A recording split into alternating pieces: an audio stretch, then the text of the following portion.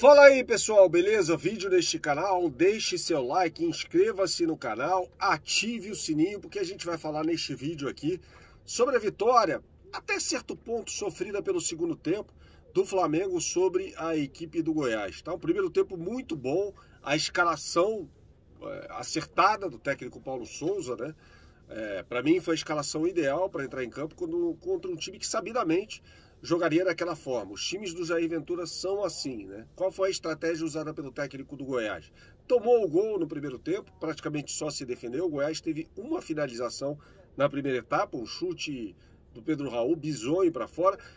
Chance, oportunidade que é criada por meio de um erro, eu acho até, de saída de bola do Hugo, né? Que dá um chute para frente, a bola acaba voltando e tal e aí o, o Pedro Raul recebe a bola para chutar para fora. Então foi o primeiro tempo que o Flamengo dominou completamente o time do Goiás, poderia ter feito mais gols, não criou mais oportunidades, porque acredito que o time do, do Goiás se armou daquela forma. Né? Destaco aqui o posicionamento do Gabigol, principalmente na primeira etapa, né? Jogando como um meia. Então, qual foi a estratégia do Paulo Souza? Tudo bem, vou jogar contra um time mais fechado, o que, que eu vou fazer? Deixo o Pedro fixo na área, Gabigol se junta a Everton Ribeiro e a Arrascaeta com movimentação por todo o campo de ataque, ele teve essa prerrogativa, para proporcionar mais oportunidades por meio de criação. E foi isso que ele fez, né? Ele deu um passe espetacular para o Mateuzinho fazer o cruzamento, encontrar o Pedro na área, gol do Flamengo. O Pedro sabe muito bem fazer isso, tá? E também criou uma oportunidade fazendo um cruzamento espetacular no segundo pau para o Bruno Henrique. Agora, Paulo Souza se diz satisfeitíssimo. É por aí.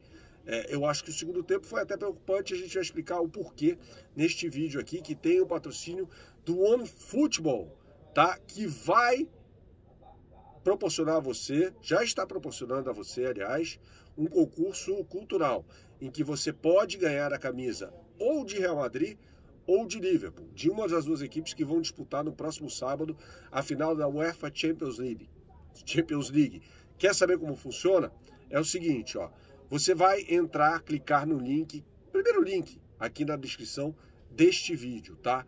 Uma vez que você clique, vai abrir um formulário que é igualzinho a esse aqui. Aí você vai ter que fazer no link que está no formulário o download do aplicativo OneFootball. Depois é só preencher o formulário, colocar alguns dados seus, escolher qual a camisa que você quer e pronto, você está participando deste concurso cultural proporcionado pelo melhor aplicativo de futebol do mundo, com estatísticas, reportagens, melhores momentos dos jogos do Campeonato Brasileiro, isso é bem importante, tá? Assim que as partidas acabam em alta definição eu uso para trabalhar e recomendo a você que use o aplicativo OneFootball. E você quer ver os jogos do Flamengo na Libertadores?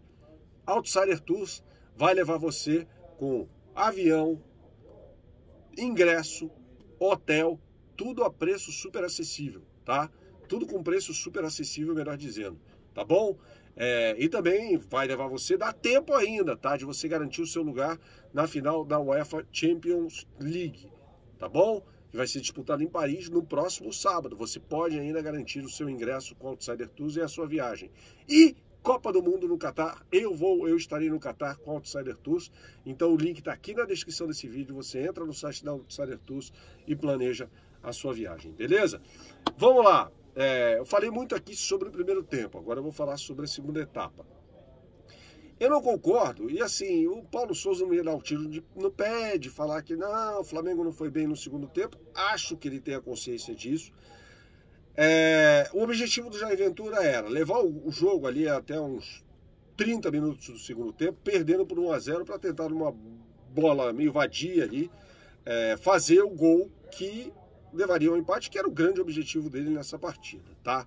Ele faz duas alterações, o Jair Ventura, que apontam para isso no segundo tempo. Ele coloca o Nicolas, o Cavani da Amazônia e o Felipe Bastos, né? no lugar do Elvis, que fez uma partida horrorosa. Aliás, acho que deveria ter sido expulso, inclusive, bateu pra caramba. O Bruno Henrique apanhou muito e muito do Elvis no primeiro tempo, tá? E ganha ali mais poderio ofensivo. Qual era a jogada do Goiás? E aí o Paulo Souza falou sobre isso. Bola longa, ou para o Daniel Monte no lado esquerdo, ou para o Apodi no lado direito. E foi numa bola que até para mim teve uma falha do Ayrton Lucas, acho que não foi falta, em que o Apodi chega cara a cara com o Hugo e acaba chutando para fora, porque estava em condições físicas bem desfavoráveis naquele momento. Ele sai logo depois com câimbras, né? Então, é, o Flamengo, claramente, ali no segundo tempo, como vem acontecendo em alguns jogos, ele recua, né? É, chama o adversário para o seu campo. Aconteceu isso, assim, falando de algumas partidas, não são muitas, tá? Mas eu vou citar algumas aqui. Contra o Atlético Mineiro, em Cuiabá, ali, o início de trabalho ainda do Paulo Souza.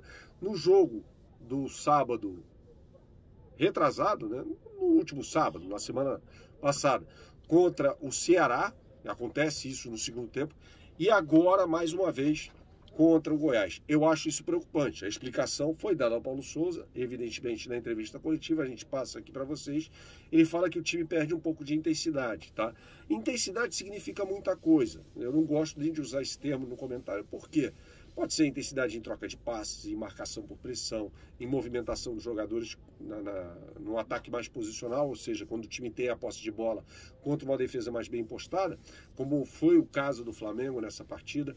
Né? Então há uma queda de desempenho físico é, é, é, é clara nos segundos tempos. Clara. Né? O Flamengo não consegue, até por causa da maratona de jogos, né? Ter a mesma força na marcação. Por isso ele faz as alterações, tá? É importante você entender. Por que, que o Andréas entra? Por que, que o, o, o, o, Thiago Maia entra depois? Por que, que o Lázaro entra na partida? Evidentemente, porque ali ele vê um problema físico para exercer a marcação, pressão do time dele. Né? Então, o Flamengo que recua, agora a gente precisa entender o motivo que leva a isso. Na minha opinião, é um time ainda que sofre fisicamente. Isso tem acontecido de forma sucessiva nos jogos do Flamengo no Campeonato Brasileiro. Quem está jogando para ser campeão? Ninguém. Ninguém. O Flamengo chega ali, precisava vencer. Eu acho que esse é o objetivo, tá? O Flamengo com cinco jogos no Maracanã, precisando das vitórias, já ganhou dois, vence o segundo, então é, com um desempenho que vai oscilar ainda, gente. É o que eu falo sobre vários times aqui do Campeonato Brasileiro que disputam o Campeonato Brasileiro. O problema de oscilação no, no, no, no Botafogo é muito grande, né? Tudo bem, a gente pode falar aqui sobre um elenco mais modesto do Botafogo em relação ao Flamengo. O Botafogo vem obtendo resultados, mas está jogando bem? Não jogou bem contra o Juventude. Tampouco contra o. Deixa eu até fechar aqui um pouquinho rapidamente, porque estou aqui numa cabine de transmissão, num estúdio de transmissão, onde comentei o jogo para o exterior. Né? Não jogou bem contra o Fortaleza, não jogou bem tampouco contra o Flamengo. Então a gente tem vários times oscilando bastante ainda. É um início de trabalho. Não sou eu quem vai falar assim, manda embora o Paulo Souza. Não é do meu feitio isso. A gente aqui vai apontar virtudes do trabalho e também defeitos. Para mim, é um time que ainda recua bastante nos segundos tempos. A explicação dele é essa e a gente diz por aqui, tá bom? Saudações, até a próxima. Tchau, tchau.